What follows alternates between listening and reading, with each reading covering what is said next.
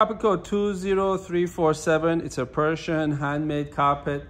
This carpet's got a very nice light uh, aubergine with purple color tones to it. Very high quality carpet in a very nice design.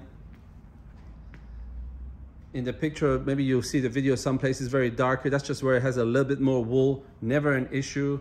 But it, in the pictures and video, it just does that because, see if you go close in, you see it, it's nothing at all just where sometimes the carpet has a little bit more wool, it just makes itself a lot darker in the pictures and the videos.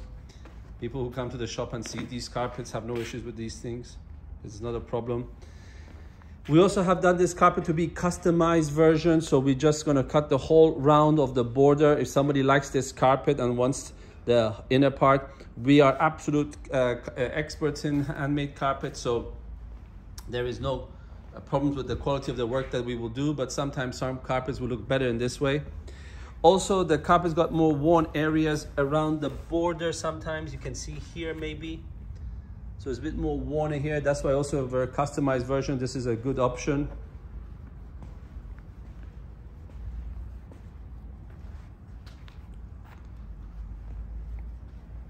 Very nice purple inside the medallion. Lilac purple doesn't show again that well. And if you have any questions about this carpet or any other carpet in our collection, you can also contact me directly via the WhatsApp number on our homepage, and we can send you additional pictures and video of one more carpet of your choice.